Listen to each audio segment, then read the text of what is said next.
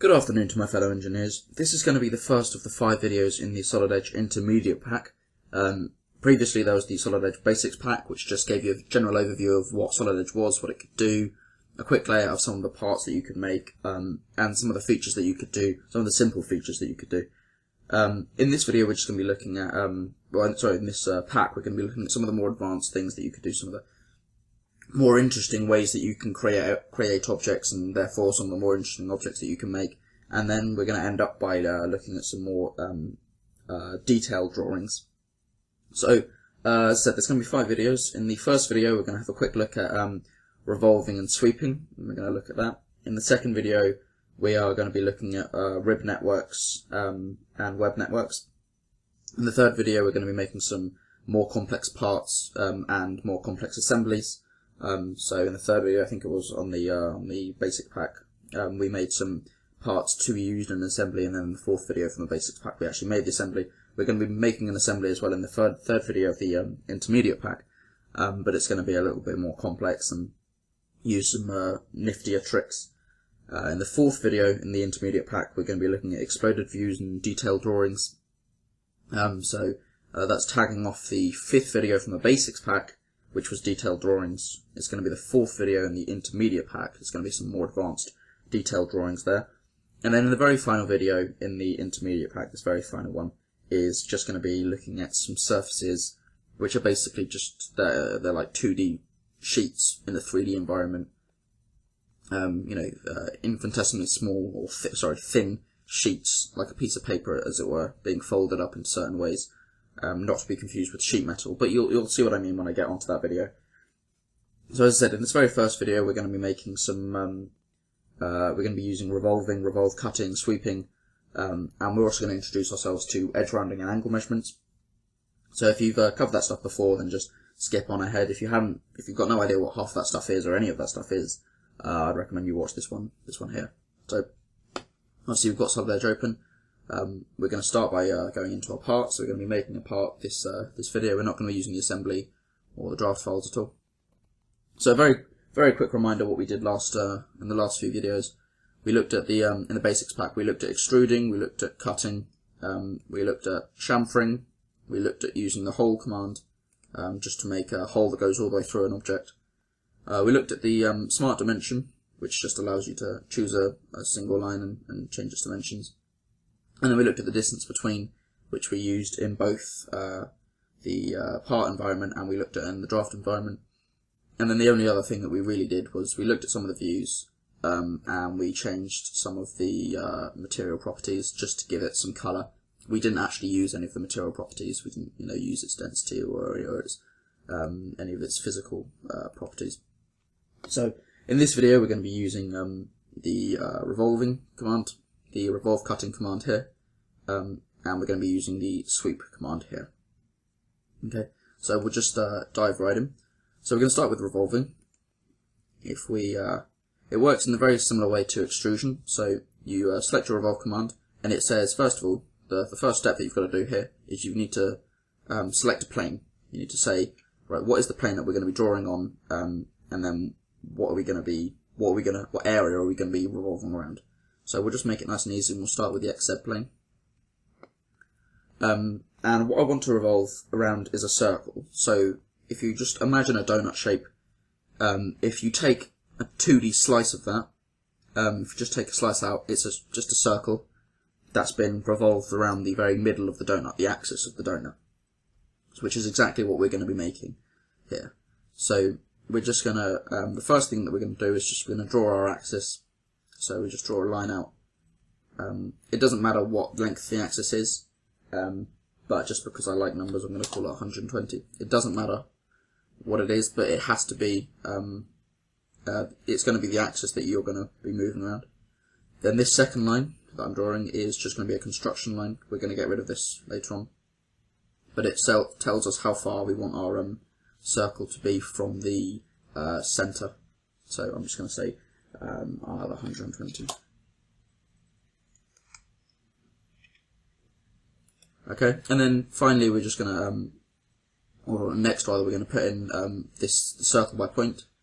Um, I think we used circle by point to make a um, a hole in the last uh, in part three. So if you don't know how to do that, then um, we're going to do circle by point. Select the point that we want to be the middle of our point, and then we uh, set the diameter or radius of the circle. Um, and to make it look like a donut, I'm going to make it um, 120. Okay. Now we need to get rid of this line because I said that was just a construction line. We didn't actually need that at all. That was just so that we could set the point. An alternative way of doing it would be to um, select the centre of that and then the centre of that and then that's 120 and we obviously want that to be 120 so we're not going to change that dimension at all. So now what we've got here at the minute is we've got our circle. This is the shape that we want to revolve around. If I just rotate this, we're going to rotate this around this axis. But at the minute, this is just a line. This is just a, um, it's just like a construction line that's not really actually doing anything. If I were to close this now, it would say, hold on, you know, you've just got a shape and a line. That, that, that means nothing. We actually need to say this is our revolving line. So if we go up to the draw command, all of these stuff, we've looked at a little bit of, of this stuff before, and this is just um, uh, actually drawing stuff. These are manipulations, which we're going to probably look at a lot later on. And then these things here are the things that um, assign things. You know, we we we can say this is actually representative of this or so forth. So we need to say that we want this line to be an axis of, of revolution. So we're going to use this shape and we're going to revolve it around this axis. So if we select the axis of revolution, it's this one here that I'm pointing at. So it's saying, right, okay, now you need to select what axis, you know, what line is going to be your axis. So we're going to select this axis, and as you can see, the line is now dotted along. Basically, that says it's no longer a construction line, now it is something, it's an axis. So we're going to revolve this shape around this axis. Right, that's the only change we need to make, so we're going to go ahead and close that sketch. Okay, and what you can see now in the uh, dynamic environment is that this shape is now revolving, this area is now revolving around this axis. Exactly like that. Okay? So, what we're going to do at the minute, we just want to set it to um, a random angle. Obviously, to make it a donut, we'd set it to 360, and you just type in 360. But I'm going to set it to a random angle. So, uh, it's 289.13. And we'll just finish that there. Okay, say I didn't know what that angle was. I didn't know what that angle, you know, uh, didn't know it was 289.13 degrees. I'm sure some of you want to convert that to radians. Um, and I, but I want to find out. Instead of going uh, into the, the shape and doing it like that, we can set a new dimension. So in the basics pack we looked at smart dimensioning, which if I choose a smart dimension, I can select, for example, the circle and say, right, that's 120 degrees, uh, sorry, 120 uh, millimeters is the diameter of the circle. We selected, we found the distance between, so we can say, okay, well, we want the distance between the center point of that and the the the um, that axis there, for example. Okay, well, that's 120 degrees. So that's useful, and the um, so that you know we've got the we've got the diameter and we've got um, a distance, but we need to know the angle. And technically, you could work out you know the x y uh, sorry the x z um, distance of that, and then the x y z distance of that, and you could do some trigonometry, and you could work out technically the distance between their center point of there and center point of there, and because you know the parameters, you could find out the angle between. But obviously, there's going to be a smarter way of doing that. So if you go up to the distance between, and you choose the one just beneath it, it says angle between. So if you select that, and now we can select our two faces that we want to know the angle between, and it tells us what that angle is. I'm just going to remove this so that you can see a little better. So it's saying that that's 70.87 degrees, that angle, which is um, 360 degrees minus, uh, 200 and, um, was it 98.23 it was.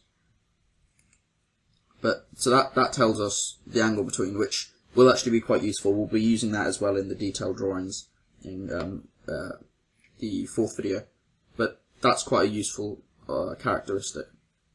If I just want to um, change this uh, so that it is a complete donut, then if we just uh, edit the definition, change the revolving extent step, we can go back to. So if you select on any of these, we can say, right, I want this to be, I want to change this section or I want to change this section. So this was the plane, change the plane that it was on, we can change the drawing profile, or we can change the angle. So I'm just going to type in 360 degrees. So now it makes our, our nice perfect toroid. And that's it. Okay. The next thing I'm going to do, um, this is now breaking it away from being a donut. I'm going to use the revolving cut command. Okay, we're going to select the same plane that we chose last time. And now what we can do with the revolving cut command, it works exactly the same way. It's cutting to extruding as revolving cut command is to the revolving command. It's very simple. So, same as before, we're going to set this is our axis. And then we're going to draw, I'm personally, I've decided to draw just a circle up here, which we'll say is going to be 60. We need to um, assign that as our axis again, so we need to go up to the axis of revolution assignment and assign that as our axis. And then we can close that sketch. Okay, and then just like the cutting command, it's just going to cut like so.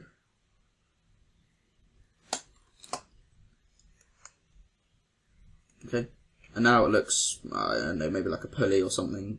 Um, you know, if, if you had a if you had a, a rod through here, it could act like a, a cable pulley or something. That'd be quite useful. Um, but obviously, we've got this really, uh, you know, jagged edge which would um, cut into the wire. Perhaps if this was made of steel, it'd probably be made of plastic. But we've got this jagged edge, which is quite unpleasant, and we want to get rid of it. So previously, in the last uh, the last video, we would have used the chamfer command. So I'll just uh, show you what that did again. Just remind you. So the chamfer command would taper off a little bit of it. Okay? And it would do it so that it was a 45 degree angle um, down this axis and down this line as well. Um, and it would make it so that the step was 4 millimeters that way and 4 millimeters that way. But we don't want the um, chamfer command, it doesn't look quite as neat. So I'll just get rid of these dimensions because these the, these dimensions have changed. So I'm just going to get rid of these. But I'm just going to delete that chamfer command, and instead we're going to use the round. So I showed you, I think I mentioned the round. I don't think I used it in the end um, in the previous videos. So if we set our round to say uh, 12 millimeters, right, we can now round it Okay, so that green line is where the edge met to before, and now our round makes it a lot smoother. It cuts off a little section, almost like a revolving cut around. So now, it looks like a space hopper with a hole in it, or, you know, it, it looks more like a pulley, and it looks a little bit safer and cleaner to use. So, very quick summary, we use the um, revolve to make the shape, which was the actual protrusion. Then we use the revolve cut um, then we use the uh, revolve cut to actually cut this section, and then we use the round to kind of straighten off the edges. So like smooth off the edges as well, so it's a lot cleaner. So I'm just gonna get rid of that because you guys know how to do all that. If you want to watch it again, watch it again. And now I'm going to be introducing you to the sweep command. Okay. Let's get back onto the front. So to do a sweep command, we're gonna um, we're not actually going to dive right into the sweep, which is here.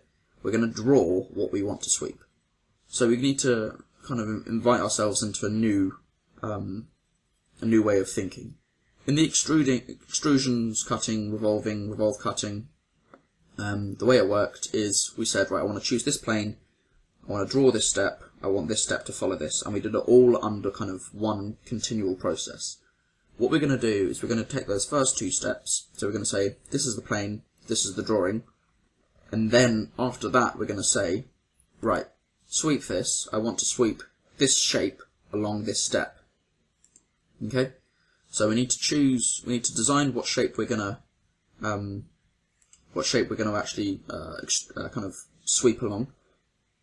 So the way we're going to do that is we go up to here and we press on the sketch command, which just uh, it allows you to do that very first stage um, in the extrusion, cutting, and so like commands. Um, it just allows you to, to select a plane. So we're going to select a plane to begin with,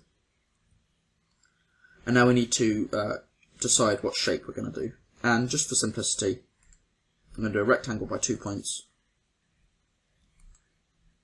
and I'm just going to make a 80 by 60 rectangle. And that's gone off the screen a little bit. I didn't want that angle.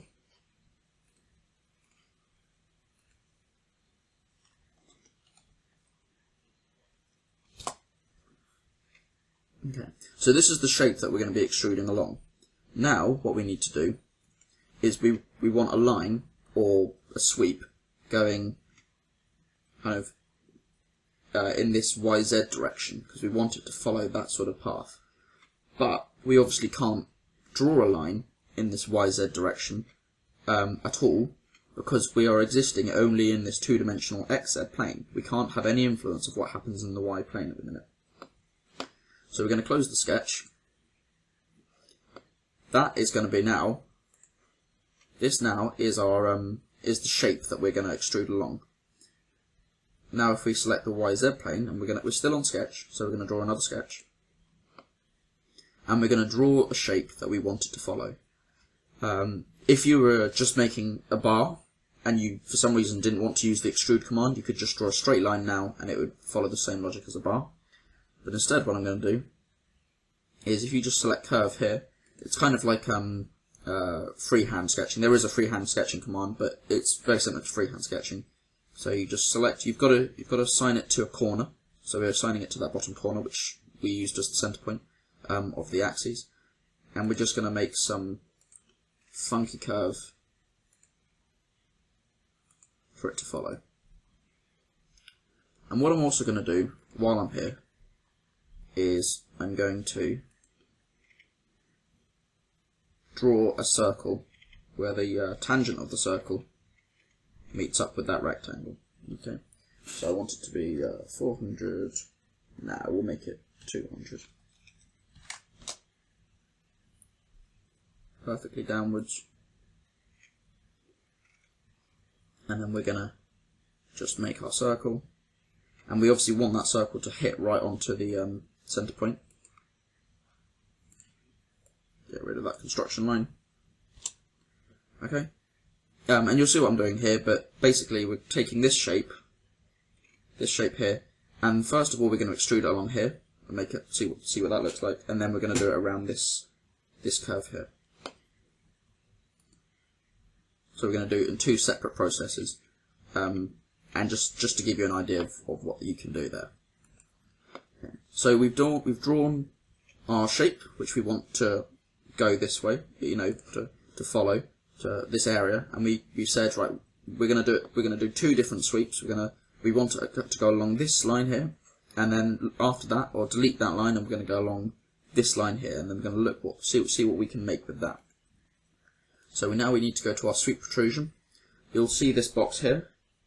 To see, to, to do what we're going to be doing, you don't need to change anything. You want it on single pit, single path and cross section, no merging, no alignments, you know, um, continuous, so you, you just want it on its default setting. You need to be on single path in cross section for this to work. So now we're going to press OK. So the first thing you do is you select what uh, the line is going to be. So the line that we're going to be using can either be the uh, the sweep or it can be this circle. So as I said, we're going to start with the sweep. So we select that and we say, right, that's the line that we're going to be using to uh, protrude along. So we press green, the, the green arrow, which basically means, right, done that one, next. Now we have to select the area that we want to protrude along. So we're going to select our rectangle, and it's going to make this sweep for us. So it looks like um, uh, you know, like a like a bar that's melted and it's starting to to drop or droop or something. And we finish that, and we can just do that. Okay. So that's what the sweep command does, and that's really useful for making handles, um, for you know shopping carts, or it's, it's really useful for making intricate shapes.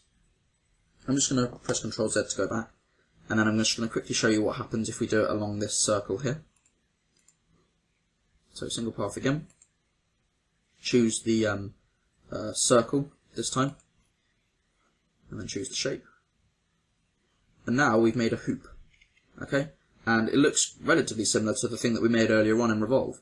Now, last time, when we now when we made a um, the hoop in Revolve, and bear in mind, obviously, if we did if we did do this with Revolve, instead of using a circle and then a cut, we could have just used a square. It would have worked exactly the same way. But this is this is um, a good example of how you can uh, use two different functions to make the same uh, uh, shape. And as I said, when I was making these curves, if I had drawn a straight line, it would have been exactly the same as the extrude command. And the same can be said um, with the cut commands and the revolve cut commands as well. So with the uh, revolve command, we said, right, we want this. If you know, if you imagine the revolve command for the for the square instead, so I've got this square and I want to do this line down here, and we're going to revolve around this line. However, what I've done now is I've said I've got this circle here, and I want to revolve through, you know, following this circle. So those are the two different ways that you can make um, effectively the same the same product, and you can sweep them along and make quite uh, some quite intricate shapes of them. So um, that basically just uh, wraps off the, this video. I've just got an interesting question. Um, based on what we've learnt so far using um, ba the basics pack and what we've done here, uh, just try and think of all the ways that you can uh, make a perfect sphere, a perfect ball, um, and I'll I'll reveal the answer in the next video um, of how you can make a perfect sphere or a perfect ball. So uh, that rounds up. We've looked at uh, revolving, revolve cutting, sweeping, and to do the sweeping, we've looked at sketching. And then the new dimension that we introduced was the uh, the angle dimension, the angle between here. So anyway, that wraps it up.